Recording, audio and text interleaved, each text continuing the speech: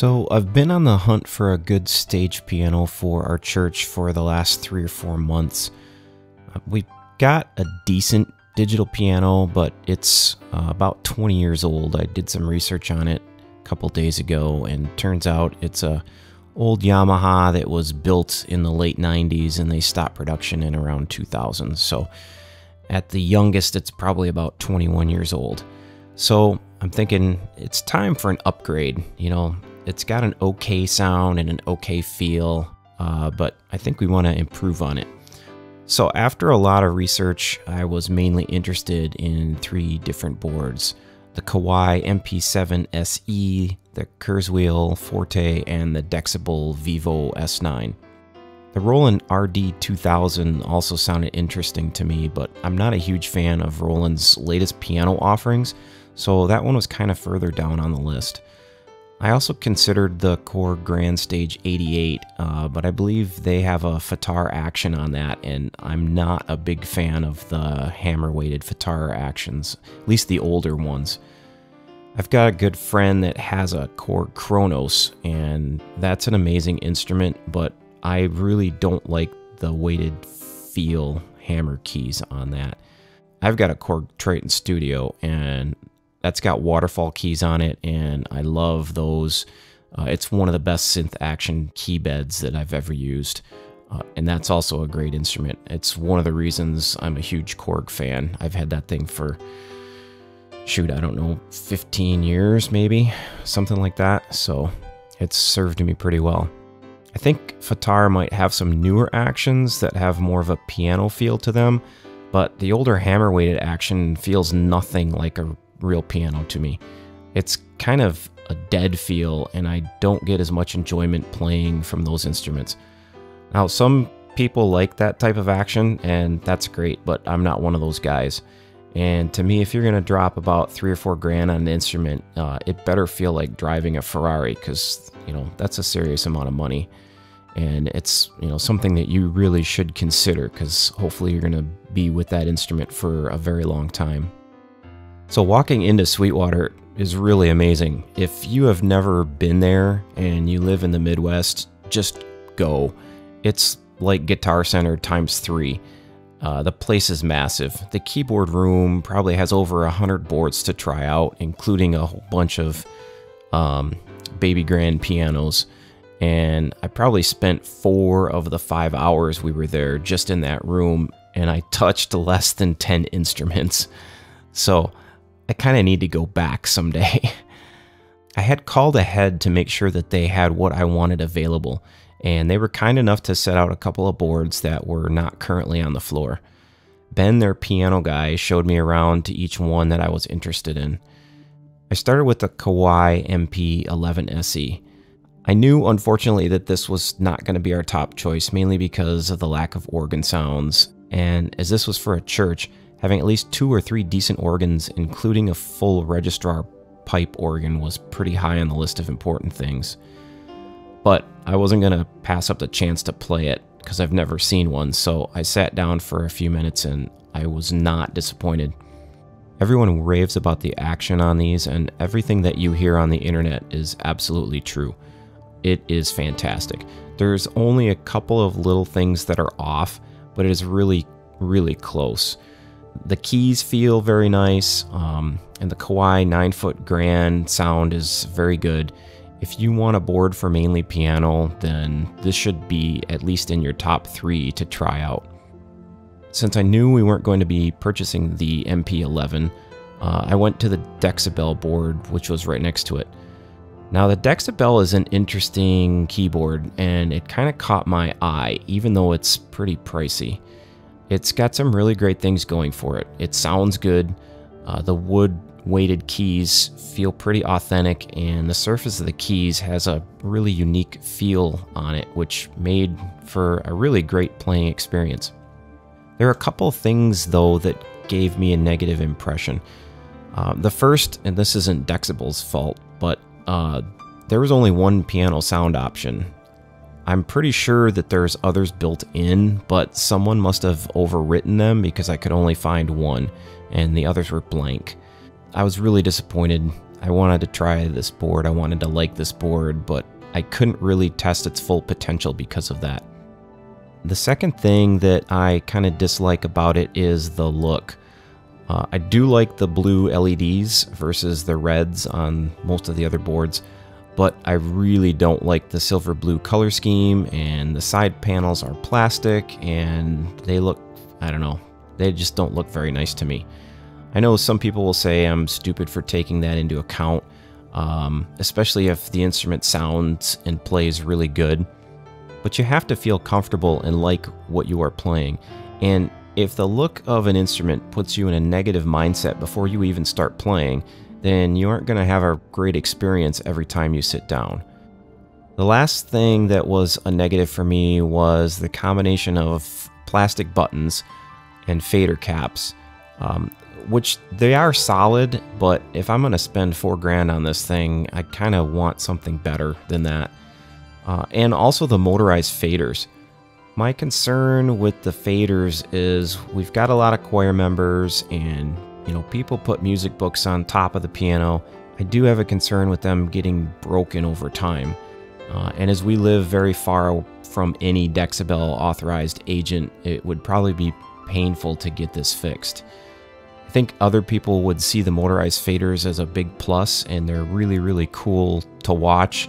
Uh, but for our use, I think it's kind of overkill and it really knocked this board out of competition. So the next board I sat down at was the Kawai MP7 SE. I was pretty sure that this was the board that I was going to go home with because it's the least expensive of the group and it has the second best Kawai action. So I spent quite a bit of time playing it. Um, the feel is second tier, I would say, compared to the Dexibell and the MP11, but it's really, really good. I mean, it's not that much different. Uh, the keys have a little bit of a plasticky feel to them, but they're solid and again, still pretty darn good. And the sound samples are very well done. There's several kawais in here, and uh, there was a bunch of pads that sounded absolutely excellent when you pair them with the piano sounds. So at this point, I had thought that my choices were down to mainly one board. Um, but I wanted to try out the Kurzweil, which I was super interested in, and also the Roland. But when I turned in my seat, I noticed I was sitting right next to the Nord section. Now, I'm not a huge Nord fan. I think they sound really nice, uh, but I was never a fan of the red color. And if you look at their board specs, especially when you look at the price and then you compare them to something like the Korg Kronos or the Roland Fantom, uh, it, it doesn't hold up. You know, if you look at it on paper, I would totally pick the Kronos or the Fantom over the Nord any day of the week. But what caught my eye when I was at Sweetwater is that they had a nice looking stage piano in the Nord section and had had a real wood top and sides and it was kind of a reddish mahogany uh, and this was the Nord Grand. And next to that, there was a Yamaha, which kind of had fallen off my list at the beginning. Uh, that's the YC88. Uh, but I sat down and played that for a bit too, and that is a really nice instrument. It's got really good action. Uh, the keys feel great. Uh, the Yamaha piano sounds are great, but it lacks a couple things that we were shopping for. Uh, mainly, it doesn't have a pipe organ and it doesn't have a lot of other sounds to it. I also tried and I liked the Roland RD2000. Uh, that actually turned out to be a really nice board. It's got a lot of bells and whistles to it, but my biggest disappointment with it, I guess, is the so-so piano sounds. Um, the functionality of this board with all the pots and faders is super nice, and the action was pretty similar to the Yamaha. I think the Yamaha is a little bit uh, heavier action than the Roland, but they're actually very similar. So if we are going to compare the action of these boards, I would say the Roland, the Yamaha, the Nord, the Dexibell, and the Kawai all have a really good feel to them. Each one is a little different, and they all have slight pluses and minuses. Uh, the Kurzweil was the most disappointing as it's got that older FATAR action, and I just don't like the feel of that. Uh, I didn't even turn it on because of that. I was hoping that it would be um, an improved action and was really looking forward to it because I've heard and seen some great things uh, on the internet about this board. The one thing that got me though was that I kept going back to the Nord even though, again, it's a pricey board compared to all of the others, uh, there's something in the playing experience that stood out. If I had to rate the action of all these boards on a scale of 1 to 10, they would all be between probably an 8.5 and a 9 compared to a real grand piano, uh, with the exception of the Kurzweil. And the Nord is probably on the lower end of that range, but, and this is an important consideration, I'm going to use this for piano, organ, probably some Rhodes and some dyno sounds. And a fully weighted grand piano feel is great for only one of those options, and it's not so great for the others. I'm not sure how Nord adjusted the Kawai action uh, because they use, I think they use the same Kawai action as the MP7 SE, but I do know they made some slight adjustments and I think they removed the weights so that all the keys are weighted the same instead of it being more like a piano where your lower register keys are heavier. And to me, the result is similar to playing like an older upright or a baby grand piano, where the action has loosened a little bit from age. And that's not a bad thing. I played a Kimball upright at another church a few weeks ago, and the Nord kind of felt like that. It was easy to play.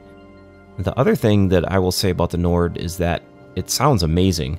Uh, the white grand piano sound just rings out, and there is more dynamic range when the action is set on normal or heavy.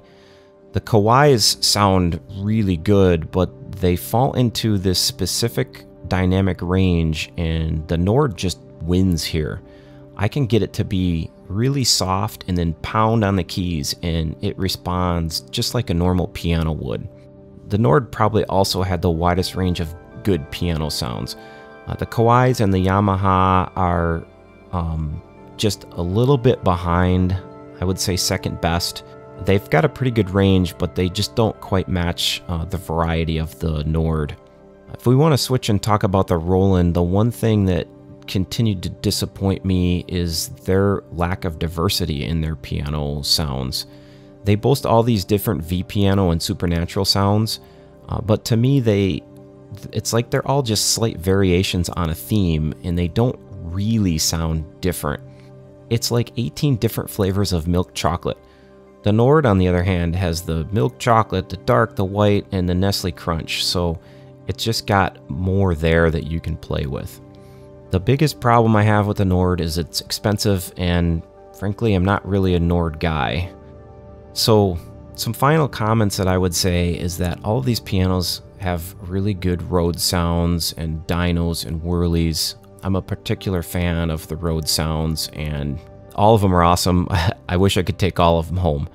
Uh, if you're in the market for any one of these instruments, I don't think you will be disappointed, frankly. So that's it. I spent over five hours in Sweetwater my first and hopefully not last trip there, and I walked out of the front door with empty hands, believe it or not.